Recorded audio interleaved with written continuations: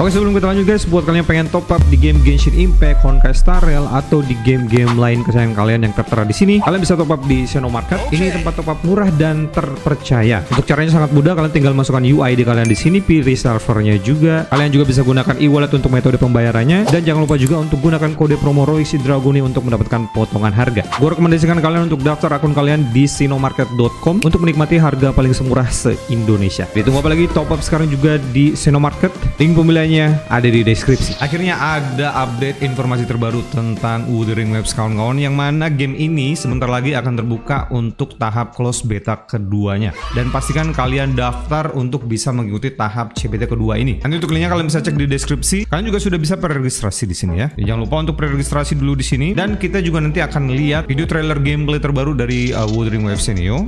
Gue preregistrasi dulu menggunakan email di sini ya. Oke, gue udah preregister. Nah sekarang mari daftar untuk ikutin tahap CBT keduanya. Centang ini, nah habis itu kalian bisa pilih via akun X atau Twitter, Apple ID dan juga Gmail. Dan ya di sini kita akan mengisi survei. Oke, di sini surveinya gue udah isi semua dan cukup banyak pertanyaannya. Nanti kalian tinggal isi saja ya. Nah, setelah kalian daftar CBT di sini kalian juga bisa ngegacha hadiahnya di sini banyak banget yang sangat-sangat menarik pastinya. Ada PS5 terus ada kualifikasi untuk ikutin tahap CBT kedua. Yang mana kalau misalnya tadi kalian sudah preregistrasi dan apply untuk ikutin tahap CBT-nya kalian bisa dapat dua kali percobaan. Nah, kalian juga bisa dapat tambahan lotre lagi kalau misalnya kalian berhasil me-invite teman kalian untuk ikutin tahap CBT kedua ini. Oke, langsung saja mari kita coba start gacha di sini. Iya, jangan berharap banyak kawan-kawan ya. Ini nggak mungkin saya dapat setidaknya ini nggak mungkin itu bro. Gameplay trailernya kawan-kawan. Ya ini 1080 saja. Semoga lo nanti saya bisa dapetin uh, jatah untuk mengikuti tahap tesnya ya. Semoga guys, semoga. Gue pengen banget asli untuk cobain game ini nih.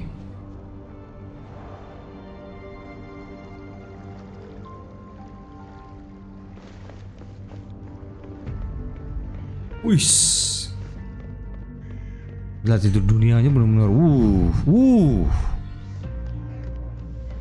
Wah, gila indah banget sih. Pengen menjelajah di nuansa baru ya. Wah. Oh. Oh, ini yang Joker kemarin kah? Maksudnya yang kayak Joker ya, yang ya ini kekuatan kartu gitu. Yang cewek ini kayaknya baru dimunculin di trailer ini gue baru lihat itu. Atau kalian udah pernah lihat sebelumnya? Ya dirumorkan katanya untuk uh, combat di game ini tuh lebih uh, sulit ya. Kalau misalnya kita bandingkan sama Genshin Impact guys.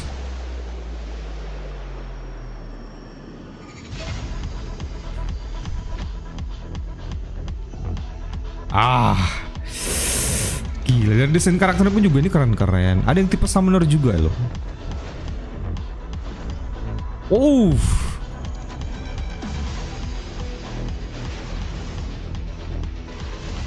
Ada Neko Mata juga loh. Ngituin gua sama Gaming.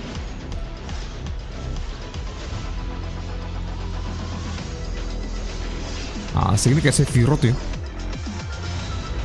Uh, mantap jiwa ya.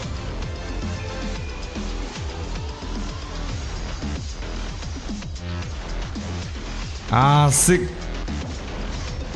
Tadi bisa co-op kayaknya ya. Ya harusnya sih bisa co-op ini.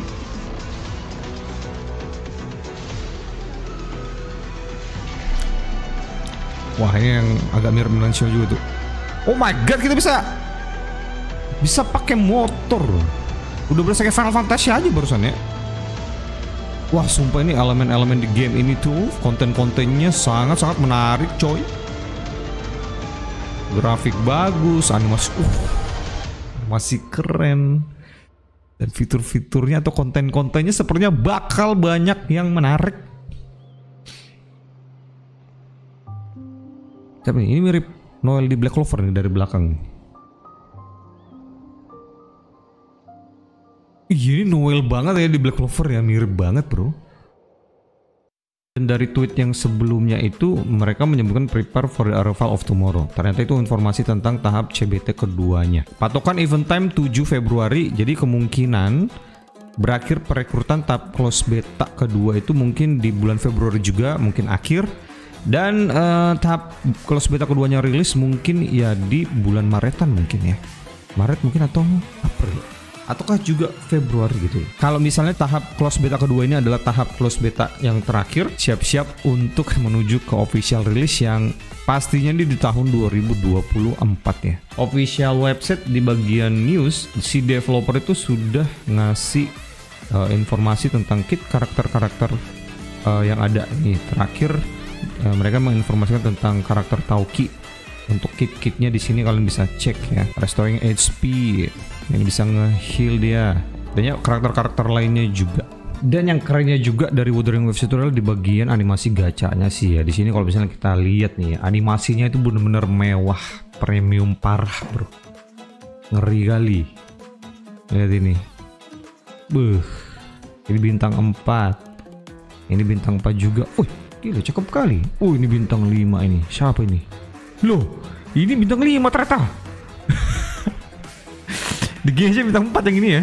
Gaming ya. Dia ibu ini neko mata ya gile. Elemennya ice dia, Bro. Animasi mantap banget ya.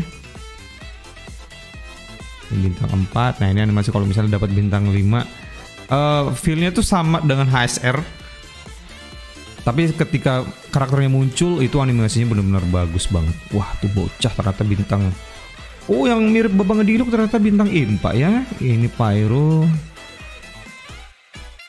Oh ini jelas bintang 5 Ini Pak yang mirip Sephiroth tadi ini.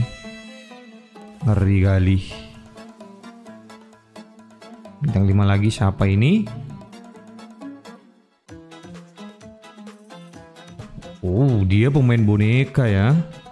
Nah ini yang omongin itu bintang 4 Ini juga sudah ada kitnya di uh, official websitenya. Nah ini, oh ini bintang 4 juga. Elemennya animo ya itu ya. Ini juga bintang 4 ya. Iya, bintang 4 seperti itu ya. Tetap aja keren animasinya. Wah, oh, ini sih target gua ntar ini kawan ya. Targetku adalah ini ya. Yang bintang 5 lagi, kita cek siapa aja nih karakter-karakter yang bintang 5 ya. Wah, ini sih gue liat di trailer tadi ini ya. Ini juga keren sih animasinya ya. Kayak Fuhua juga nggak sih untuk skill-skillnya kawan ya? Okay, another B5 karakter. Oh my god, Loli Chuang. Wah, ini Nahida sih. Wah, ini aduh bahaya nih gak? Wajir tuh bahaya sekali itu boeing-boeingnya parah banget itu. Gak disensor tadi CN dah. Jadi bintang 5-nya di sini tuh ada sekitar uh, 7 karakter. Tidak sabar saya asli untuk mencoba mainin game yang satu ini gile.